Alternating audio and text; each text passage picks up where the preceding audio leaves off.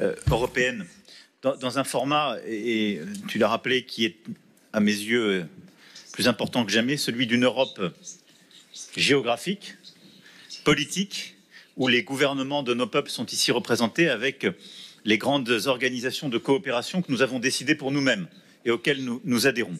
Et donc c'est un format qui évidemment ne concurrence pas l'Union européenne, qui ne concurrence pas l'OTAN, mais qui est euh, dans sa propre géographie, sa cohérence historique, civilisationnelle et politique. Et, l'histoire, au fond, de cette communauté politique européenne est à écrire. On a tous des différences de sensibilité, mais à coup sûr, nous avons des intérêts communs. Et, et je crois que euh, c'est le bon lieu pour le faire, celle, celui d'une grande Europe, où euh, justement euh, l'histoire a pu nous diviser, en particulier l'histoire du XXe siècle, ou séparer ou écrire des pages différentes. La question, c'est est-ce qu'on veut écrire une page commune de la grande Europe au XXIe siècle? Moi, j'y crois très profondément. Et donc, je crois que c'est ici que l'unité stratégique géopolitique doit, s'écrire. Et le moment que nous vivons est le bon. Le Premier ministre hongrois l'a rappelé. La guerre est revenue sur le sol européen, en Ukraine. Des tensions et des conflits existent entre certains membres, Arménie, Azerbaïdjan. Nous avons euh, des phénomènes qui bousculent nos sociétés, euh, des grands risques terroristes qui ont touché beaucoup de nos pays encore ces derniers mois. Nous avons tous à faire face à des phénomènes de migration illégale qui euh, bousculent nos sociétés. Et en même temps, nous sommes des économies ouvertes qui, depuis des décennies, se sont construites sur un, modèle d'ouverture dont on continuera à avoir besoin. Nous avons le défi euh, évidemment climatique, technologique et une géopolitique, on le voit bien, où on a deux blocs, les États-Unis d'Amérique d'un côté, la Chine, qui avant tout recherchent leur intérêt propre et, décident d'être beaucoup moins, si je puis dire, et l'un et l'autre, complaisants avec les règles internationales ou en tout cas respectueux de ces derniers. Comme plusieurs, j'ai eu l'occasion hier d'avoir le président élu Donald Trump, qu'on est quelques-uns autour de cette table avoir connu euh, il y a quatre ans de cela dans ses précédentes fonctions. Je l'ai félicité, mais au fond, moi je trouve que notre rôle ici ou au sein de l'Union européenne, c'est pas de commenter l'élection de Donald Trump, savoir si c'est bon pas bon. Il a été élu par le peuple américain et il va défendre l'intérêt des Américains. Et c'est légitime et c'est une bonne chose. La question, c'est est-ce que nous, on est prêt à défendre l'intérêt des Européens? C'est la seule question qui nous est posée. Et moi, je pense que c'est notre priorité. Et donc, ça ne doit être ni dans un transatlantisme qui serait naïf, ni dans la remise en cause de nos alliances, ni non plus dans un nationalisme étriqué qui ne nous permettrait pas de relever ce défi face à la Chine et aux États-Unis d'Amérique. Et donc, c'est un moment de l'histoire pour nous, Européens, qui est décisif. Au fond, la question qui nous est posée, voulons-nous lire l'histoire écrite par d'autres, les guerres lancées par euh, Vladimir Poutine, les élections américaines, les choix faits par euh, les Chinois en termes technologiques ou commerciaux, ou est-ce qu'on veut écrire l'histoire? Et moi, je pense qu'on a une force pour l'écrire. Nos économies sont fortes, nos pays euh, ont des systèmes de défense sophistiqués, et on représente quelque chose. L'Union européenne, c'est 440 millions d'habitants avec ses 27 pays, et la, la communauté politique européenne, c'est plus de 700 millions d'habitants. Si on décide d'avoir conscience de ce qu'on représente géopolitiquement, commercialement, c'est une puissance inouïe. Il n'y a aucun marché de 700 millions d'habitants aussi uni par l'histoire des intérêts, des valeurs que nous autour de cette table. Aucun. Si on se réveille et qu'on décide au fond de ne pas disparaître géopolitiquement et de ne pas être le marché d'ajustement des autres puissances économiquement et commercialement.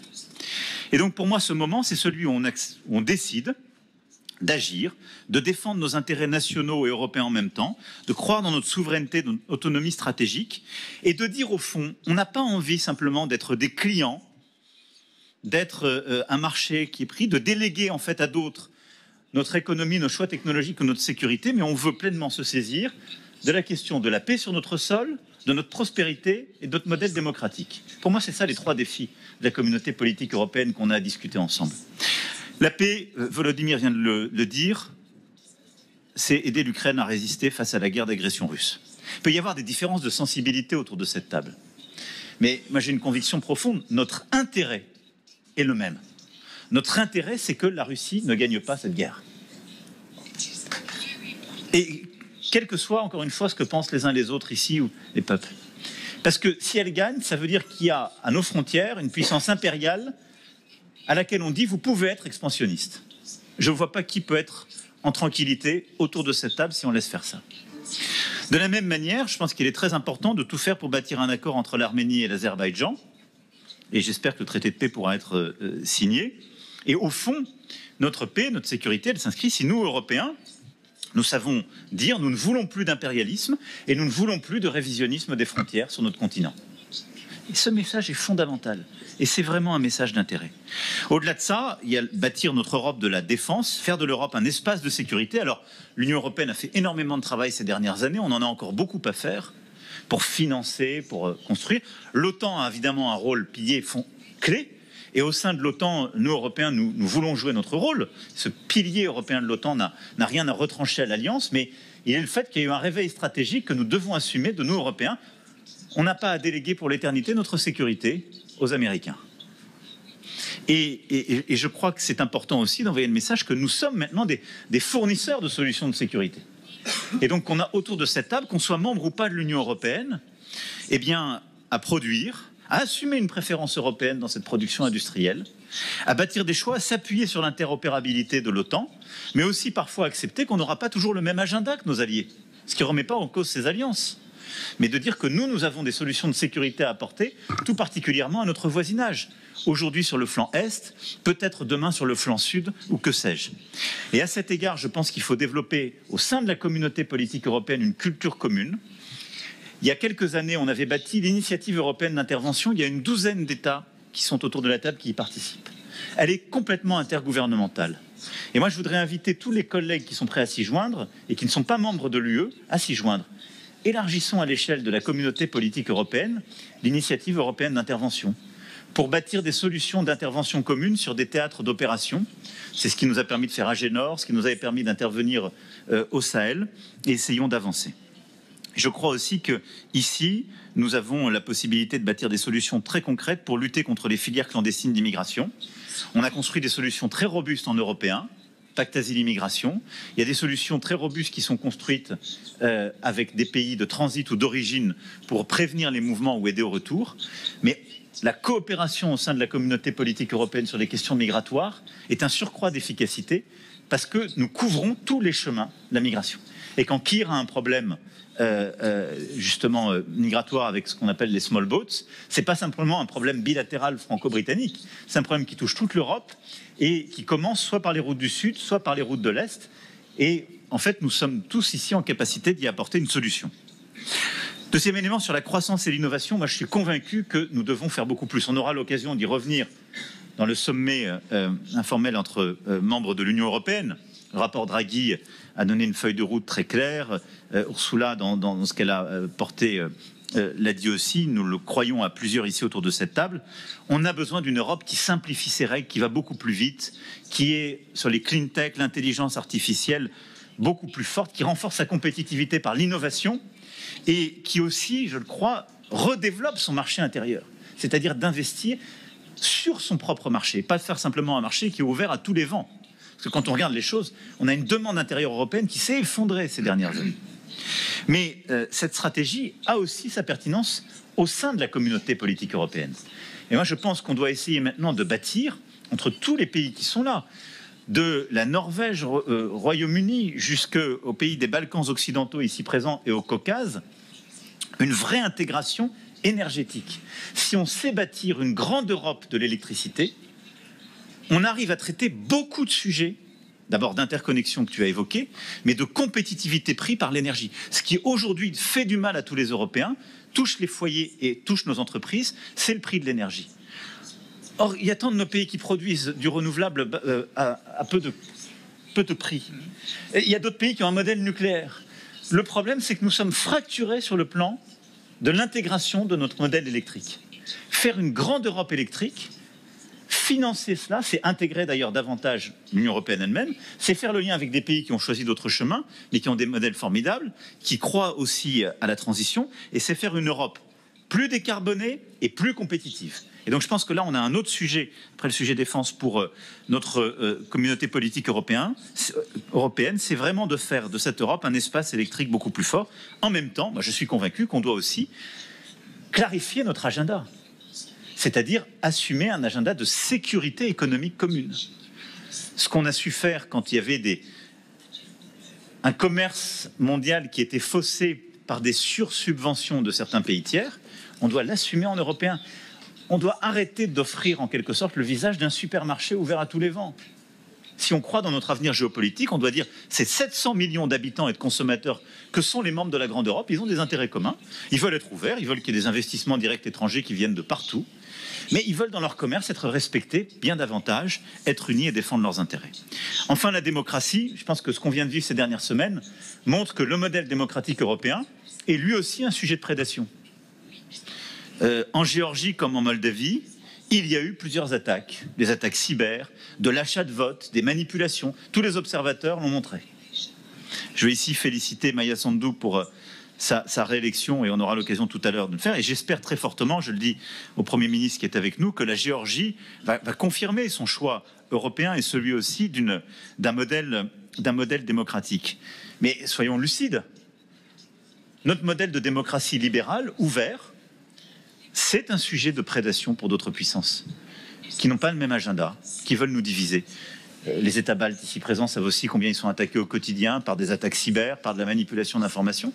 Et donc, on doit assumer un agenda de protection de nos démocraties, de nos règles démocratiques, de la forge de l'opinion publique, de la manière dont nos concitoyens forment leurs opinions pour pouvoir ensuite voter librement. Parce que si nous devenons le théâtre de propagande extérieure, parce que nous sommes naïfs et on considère juste que la démocratie, c'est offrir des infrastructures mais pas s'occuper de la régulation du contenu, les démocraties libérales seront balayées. Et vous le voyez, au fond, qu'il s'agisse de notre sécurité, de notre défense, de notre économie et de notre modèle de prospérité, de notre démocratie, nous avons à bâtir un agenda positif extrêmement ambitieux si nous prenons conscience de ce qu'est la grande Europe qui est autour de la, table. Une puissance géopolitique sans égale. Simplement, nous ne nous assumons pas jusqu'alors comme une puissance pleinement indépendante. on pense qu'il faut déléguer notre géopolitique aux États-Unis d'Amérique, il faut déléguer notre modèle de croissance à nos clients chinois, il faut déléguer notre innovation technologique aux hyperscalers américains. C'est pas la meilleure idée. Je pense qu'on peut reprendre le contrôle si on décide sur la décennie qui vient de bâtir, pas simplement au sein de l'Union européenne, mais ici. Au fond, pour moi, c'est simple. Le monde est fait d'herbivores et de carnivores. Si on décide de rester des herbivores, les carnivores gagneront et nous serons euh, un marché pour eux. je pense qu'au moins, ce serait pas mal de choisir d'être des omnivores. Je ne veux pas être agressif, je veux juste qu'on sache se défendre sur chacun de ces sujets. Mais je n'ai pas envie de laisser l'Europe comme un formidable théâtre habité par des herbivores que des carnivores, selon leur agenda, viendront dévorer. Assumons cela. Voilà. C'est pour ça que je crois beaucoup à ce format-là. Je remercie Monsieur le Premier ministre de nous accueillir. Et je pense qu'en ce lendemain d'élections américaines, nous nous devons d'être lucides, ambitieux, déterminés sur l'agenda qui est le nôtre. Il est crédible, il est totalement faisable. C'est une question de volonté commune et de capacité à prendre conscience de ce que nous sommes. Merci beaucoup, Victor. Yannick Miror, il faut être lucide, ambitieux à quelques heures euh, de cette élection du 47e président de la République américaine, un certain Donald Trump. Est-ce que nous avons les moyens de ce beau discours prononcé par le président de la République?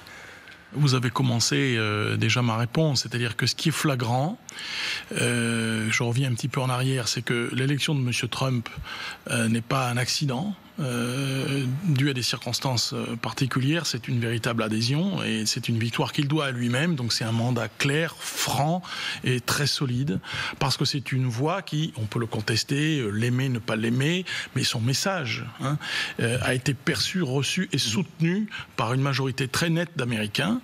Le messager Monsieur Trump, sa personnalité, le clan Trump qui met la main sur le parti républicain, tout ça on laisse de côté. Mais le message est clair. Donc sa voix était audible. Et, la nôtre. Tout le contraste est là. Ce sont des, on entend des voix, euh, je regrette de le dire, mais étant français, je préférerais dire le contraire, mais celle du président de la République, en particulier sur les schémas internationaux, c'est toujours très juste, bien vu, bien dit, avec une bonne initiative, sa communauté politique européenne euh, qui est là, mais on a payé pour voir, si je puis dire, au bout de huit ans. Euh, est-ce que je peux le dire, euh, Chabot, le, naufrage de notre influence à l'international euh, en Afrique, les limites de notre influence, notre poids en Europe. Alors je pourrais continuer longtemps, je préfère céder la parole à mes euh, camarades autour de la table, mais pour dire que de mon point de vue, et ça fait très longtemps déjà que je le pense, après les premières illusions de la présidence de M. Macron, dont les limites, de mon point de vue, tiennent à sa son tempérament propre, et ça s'applique aussi d'ailleurs pour les États-Unis, on y reviendra peut-être, mais la leçon, c'est que faisons ce que l'on peut à l'échelle européenne, puisque c'est quand même très compliqué, il y a beaucoup de monde autour de la table et beaucoup de gens qui sont comme M. Macron tout à fait démonétisés, et ressaisissons-nous en interne à l'échelle déjà hexagonale pour pouvoir peut-être être écoutés et balayés devant notre porte. La menace américaine, est-ce que c'est une bonne chose pour l'Europe? Est-ce que ce sera le réveil tant souhaité, notamment par notre président? Est-ce que l'on peut, comme il l'a dit, écrire cette page, Arlette, de l'Europe du 21e siècle? Et il a conclu par est-ce que l'on peut devenir des omnivores et arrêter, face aux puissances extérieures, d'être des herbivores? Oui, face aux carnivores, essayons d'être des omnivores, ou les deux, l'autre formule étant euh, allons-nous écrire l'histoire ou laisser l'histoire écrite par d'autres, euh, que ce soit notamment la Russie, la Chine ou éventuellement effectivement les États-Unis.